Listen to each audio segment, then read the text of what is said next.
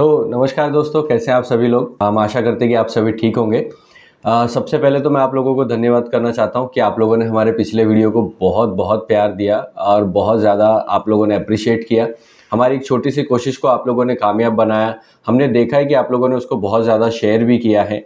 तो उसके लिए बहुत आपका शुक्रिया अदा करना चाहता हूँ। जैसे कि हमने पिछली वीडियो में भी आपको बताया था कि नेक्स्ट वीडियो में हम पोस्ट रिपेयर डायग्नोस कवर करेंगे। तो पोस्ट रिपेयर डायग्नोस में आज का जो हमारा टॉपिक है, वो पोस्ट रिपेयर डायग्नोस की समझो सीरीज़ जो है उसकी शुरुआत होगी। क्योंकि पोस्ट रिपेयर डायग्नोस में बहुत सारे फ़ंक्शंस होते हैं और वो ब्रांड टू ब्रांड और मॉडल टू मॉडल चेंज हो जाते हैं।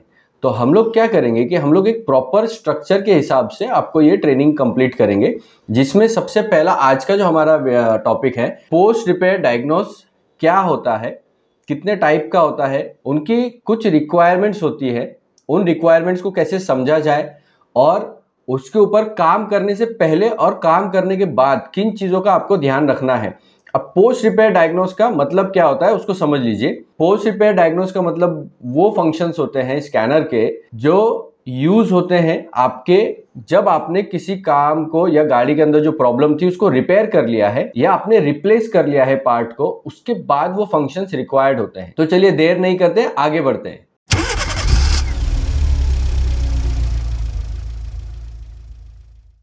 तो सबसे पहले हमको ये समझना होगा कि पोस्ट रिपेयर डायग्नोस होता क्या है। पोस्ट रिपेयर डायग्नोस वो फ़ंक्शंस हैं जो आपको बेसिकली रिपेयर या कंपोनेंट को चेंज करने के बाद में करने होते हैं। क्योंकि पिछली वाली वीडियो में हमने बताया था प्री रिपेयर यानी प्रिपेयर करने के पहले जो आपको डायग्नोस करने के जो फ़ंक्शंस हैं, वो कौन से कौन से होते हैं? इसमें पोस्ट रिपेयर में रिपेयर करने के बाद के फ़ंक्शन है। मैं एग्जांपल के लिए बता देता हूँ, अगर आपको नहीं समझ में आ रहा हो तो। जैसे आप इंजेक्टर चेंज करते हैं तो आपको कोडिंग करनी पड़ती है। अगर आप ईसीएम e चेंज करते हैं तो आपको कोडिंग करनी पड़ती है। इमोबिलाइजर को चेंज करते हैं तो कोडिंग करनी पड़ती है। इंजेक्टर चेंज करने के बाद माइक्रो लर्निंग करनी पड़ती है। पहले जो इलेक्ट्रॉनिक थ्रॉटल बॉडी आती थी, उसको वो चेंज करने के बाद में आपको उसको लर्निंग करनी पड़ती थी। आपने अगर गियर बॉक्स में काम किया है, आपने मेगाट्रॉनिक चेंज किया है तो उसको आपको गियर लर्निंग करनी पड़ती है।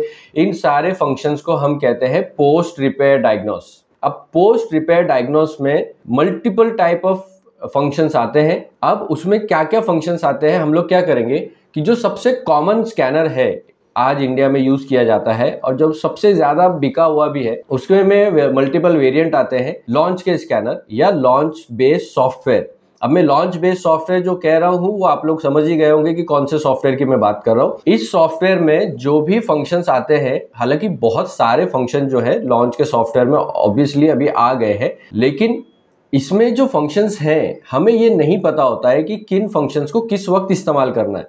देखिए ज़रूरी नहीं है कि अगर आपकी गाड़ी काला धुआँ छोड़ रही है तो आपको डीपीएफ रीजनरेट करना ही पड़ेगा। नहीं उसकी कुछ रिक्वायरमेंट्स होती है। तो वो क्या रिक्वायरमेंट्स होती है? पहले हम लोग उसको समझेंगे लेकिन उससे पहले हम लोग समझेंगे ये फ़ंक्शंस क्या क्या होते हैं और उनकी ज़रूरत कब पड़ती है। तो मैं आपको स्क्रीन की तरफ़ लेके चलता हूँ।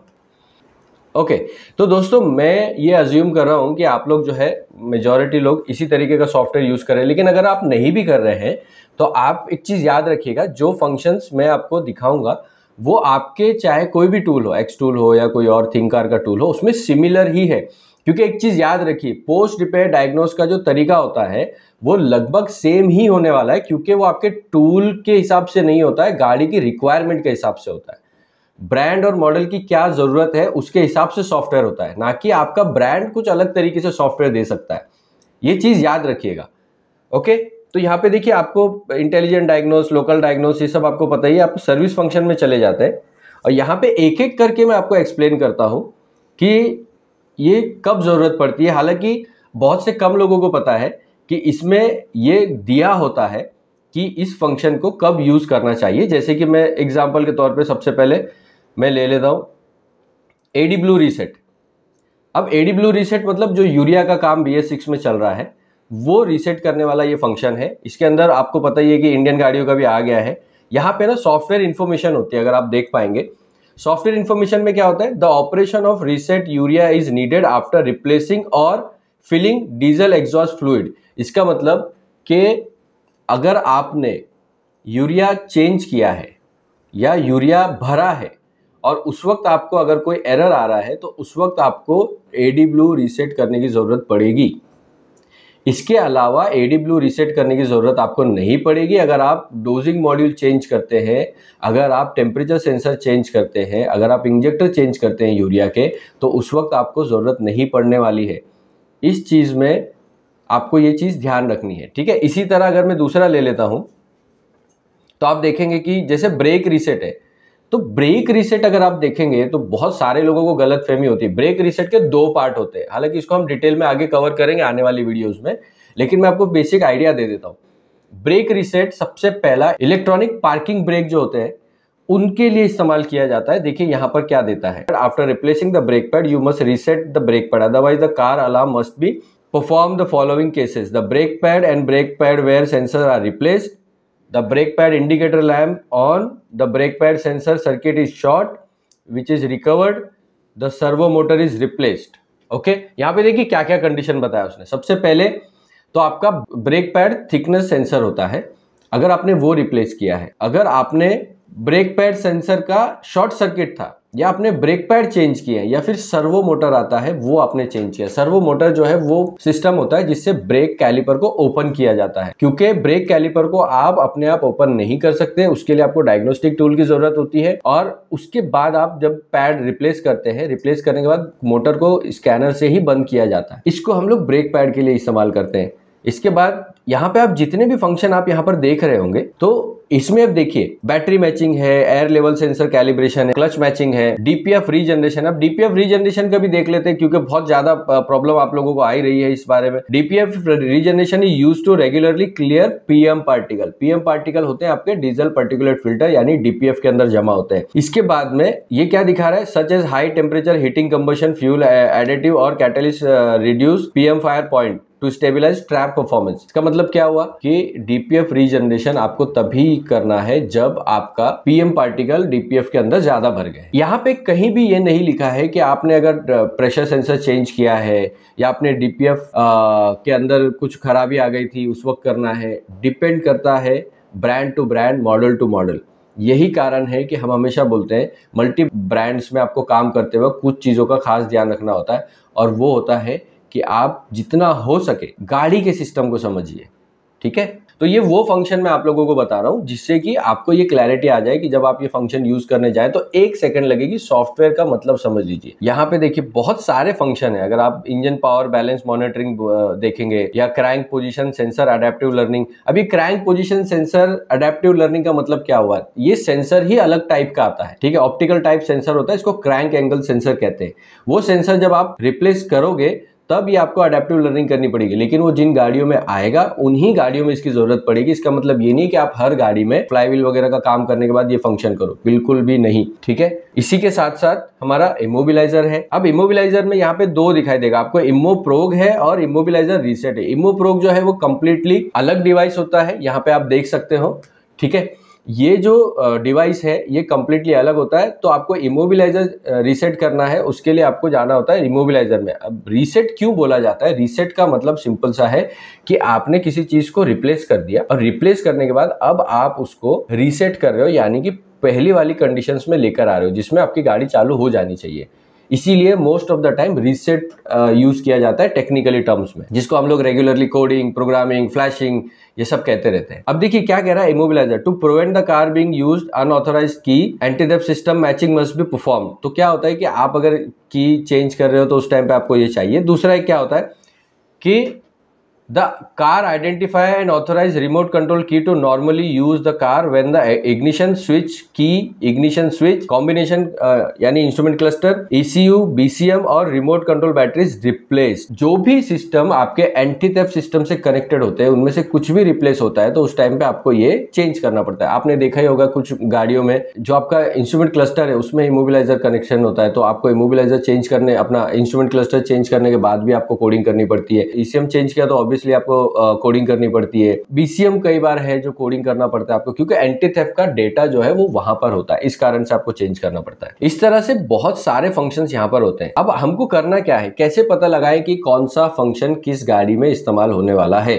तो पोस्ट रिपेयर में ये तो मैंने वो वाले फ़ंक्शन बताए हैं, जिसमें यहाँ पे शॉर्टकट में दिया हुआ है। हालाँकि इससे ज़्यादा brand to brand model to model आपको अंदर ही मिल जाएगा। वो कैसे मिलता है, वो मैं आगे आप लोगों को बताता हूँ। लेकिन उसमें आगे जाने से पहले मैं आप लोगों को कुछ चीज़ें बताना चाहता हूँ, जो है प्रिकॉशन प्रिकॉशन यानी क्या सावधानी और किन चीज़ों का ध्यान रखना है आपको ये फ़ंक्शन को प्रिपेयर करने से पहले, ये इन फ़ंक्शन को यूज़ करने से पहले। तो दोस्तों, इसी के साथ मैं आप लोगों को आगे बढ़ने से पहले एक जानकारी दे देना चाहता हूँ कि हमारे ट्रेनिंग प्रोग्राम जो है वो रेगुलरली चल रहे हैं। आप में से किसी भी भाई को अगर ट्रेनिंग लेनी है, जो व्हीकल डायग्नोसिस की और ईसीएम रिपेयरिंग की हमारी ट्रेनिंग है, वो नीचे दिए गए नंबर पे कॉल कर सकते हैं।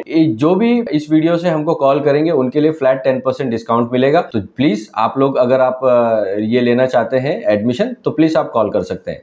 देखिए, सबसे पहला जो हमारा काम होना चाहिए, वो ये कि आपने जो कंपोनेंट या ईसीयू e आपने जो रिप्लेस किए हैं, वो करेक्टली रिप्लेस किए हैं, या जो ईसीयू e आपने चेंज किया है, वो उसका पार्ट नंबर करेक्ट था। उसका वेरिएंट आपकी गाड़ी के हिसाब से ही था। मैं कंपोनेंट की बात कैसे कर रहा हूँ? जैसे कि इंजेक्टर है तो इंजेक्टर में क्या एक प्रोसेस है? आपको पहले उसकी फ्यूल लाइन की ब्लीडिंग करनी होती है। इंजेक्टर के सिलेंडर्स कभी भी मिसमैच नहीं होने चाहिए। ये सब पहले आपको करना पड़ेगा ताकि आप माइक्रो लर्निंग या जो इंजेक्टर कोडिंग करना चाहते हो, वो करेक्टली कर पाए। वैसे ही ECU के मामले में अगर आप BCM चेंज कर रहे हैं तो उसका वेरिएंट और आपका पार्ट नंबर सेम होना चाहिए। कई बार पार्ट नंबर अगर सेम नहीं भी है तो वेरिएंट सेम होना चाहिए। वेरिएंट का मतलब क्या होता है? एग्ज़ाम्पल बताता हूँ।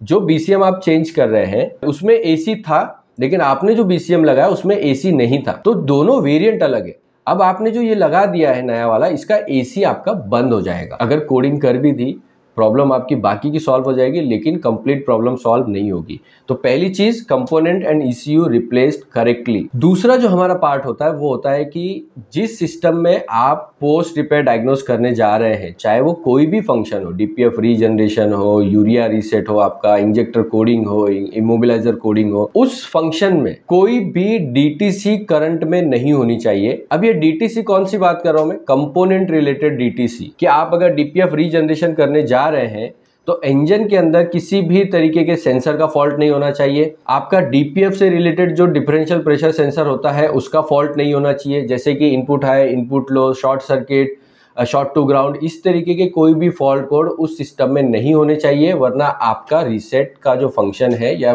पोस्ट रिपेयर डायग्नोज जो है, वो क्लियरली नहीं होने वाला है। तो इस चीज़ को ध्यान रखना है। कोई भी कंपोनेंट रिलेटेड या वायरिंग रिलेटेड फॉल्ट कोड आपका पर्टिकुलर सिस्टम में नहीं होना चाहिए। जैसे आप इमोबिलाइजर कोड कर रहे हो तो इमोबिलाइजर में कोई भी circuit related short circuit related इस तरीके के फॉल्ट कोड नहीं होने चाहिए, वरना आपका ये फ़ंक्शन नहीं होने वाला है। इसके बाद तीसरा, जो सबसे इंपॉर्टेंट पार्ट है read all precautions before proceeding यानी कि जब भी आप कोई रीसेट या फ़ंक्शन ऑपरेट कर रहे हो, ठीक है? लेट से डीपीएफ रीजनरेशन आप करना चाहते हैं। तो डीपीएफ रीजनरेशन करने से पहले हर बार आपको एक मैसेज आता है। हमारे टेक्नीशियंस का एक पैटर्न मैंने देखा हुआ है कि वो कंप्लीटली उसको इग्नोर कर देते हैं और यस नो यस नो करके आगे बढ़ते जाते हैं। बहुत सी बार उस मैसेज के अंदर ये क्लियर मेंशन होता है कि कंडीशंस क्या हैं। ठीक है, अगर वो कंडीशंस मैच नहीं होती है तो वो फ़ंक्शन आपका ऑपरेट होने वाला नहीं है सक्सेसफुल होने वाला नहीं है सिंपली आप क्या करेंगे, आप स्कैनर को ब्लेम करना शुरू कर देंगे कि अरे इसके अंदर कुछ होता नहीं है। ठीक है? मैं दिखाता हूँ किस तरीके के मैसेज होते हैं आपके। तो यहाँ पे मैं आपको दिखाता हूँ कि किस तरीके के वो प्रिकॉशंस मैसेजेस आपको आते हैं इन्फॉर्मेशन या फिर उसको नोट्स कहते हैं। ठीक है? जैसे कि आप यहाँ पर देख पा रहे हो injector rate adjustment battery register battery replacement learning Valvetronic fuel consumption display ये सारे फ़ंक्शन जो है, वो आपको स्पेशल फ़ंक्शन में अडेप्टेशन में या फिर आपको कैलिब्रेशन जैसे फ़ंक्शंस में मिल जाते हैं। ओके? आइडल स्पीड एडजस्टमेंट अगर यहाँ पे देखते हैं या इंजेक्टर रेट एडजस्टमेंट में देख लेता हूँ। ये देखिए, ये जो इन्फो का जो आपको दिखाई दे रहा है यहाँ पर fault codes are stored in fault code memory. It is recommended to correct the fault before carrying out the matching procedure. क्या लिख के भेजा उसने? कि भैया ईसीएम के अंदर एक फॉल्ट कोड है। पहले जाइए, उसको क्लियर कीजिए, उसको सॉल्व कीजिए, उसके बाद ये कीजिए। ठीक है? अब ये क्या दिया है? The stored adjustment values are read in the next step okay ये देखिए, इसने क्या किया? वैल्यूज़ आपको दिखा दिया, लेकिन यहाँ पे कैच है। क्या उसने पहला ही मैसेज दिया था कि फॉल्ट कोड डिलीट करना है आपको? और उसने बताया भी था कि फॉल्ट कोड है उसके अंदर। अब ये तो डेमो है, इसलिए आगे जा रहा है अदरवाइज़ गाड़ी में आगे जाता भी नहीं। अब ये are the adjustment value to be read out from the replace engine नहीं, मैं क्या करूँगा पहले? नो करके बैक जाऊँगा और पहले मैं फॉल्ट कोड डिलीट करूँगा। तो सबसे पहले रीड फॉल्ट कोड किया। देखिए यहाँ पे कम्युनिकेशन सर्किट दिखा रहा है। अब मैं इसको क्लियर फॉल्ट कोड कर देता हूँ। ओके किया। अब वापस मैं स्पेशल फ़ंक्शन में जाऊँगा और वापस स्पेशल फ़ंक्शन में जाके इंजेक्टर रेट एडजस्टमेंट देखो यहाँ पर दिखा दिया मैसेज ओके नेक्स्ट ये बता रहा है कि नेक्स्ट स्टेप में आपको रीड करेगा। जैसे रीड करके दिखा दिया। ओके किया मैंने। यहाँ पे are the adjustment value to be read out from a replace engine वो बोल रहा है कि ई e जो पुराना वाला था, उसमें से रीड करना है क्या? मैंने बोला, नहीं। ओके यहाँ पे देखिए मुझे दे दिया इसने। ये क्या बोल रहा है मुझे? वन टू थ्री फोर अगर आपको मुझे एक नंबर सिलेंडर में डालना है, यहाँ पे सिक्स सिलेंडर दिए इसलिए आपको आठ पॉइंट दिख रहे हैं। तो यहाँ पे देखिए वन का मतलब क्या हुआ? आपको एक नंबर में डालना है तो वन पे क्लिक किया।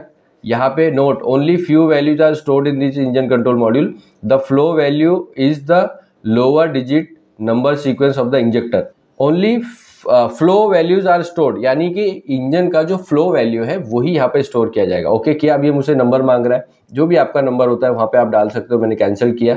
अब लास्ट में क्या था मुझे? यहाँ पे मुझे एंड दिया है। मैंने क्या किया इसको? एंड कर दिया। Okay okay.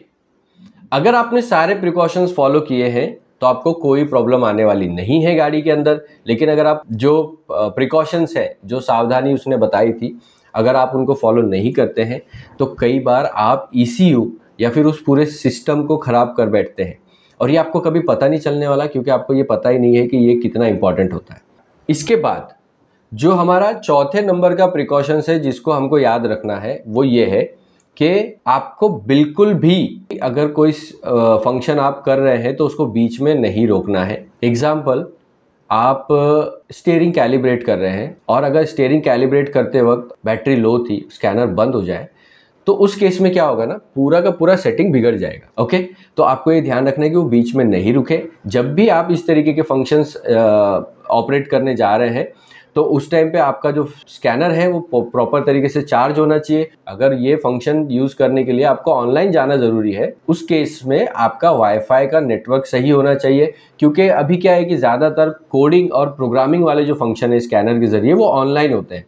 और ऑनलाइन में अगर आपका डेटा फ्लक्चुएट करेगा तो ये याद रखिए कि जब आप कोडिंग कर रहे हैं या प्रोग्रामिंग कर रहे हैं, उस वक्त अगर डेटा बीच में करप्ट होता है या लॉस हो जाता है तो आपका वहाँ पर भी कंट्रोल मॉड्यूल में डेटा लॉस होने के चांसेस हो जाते हैं।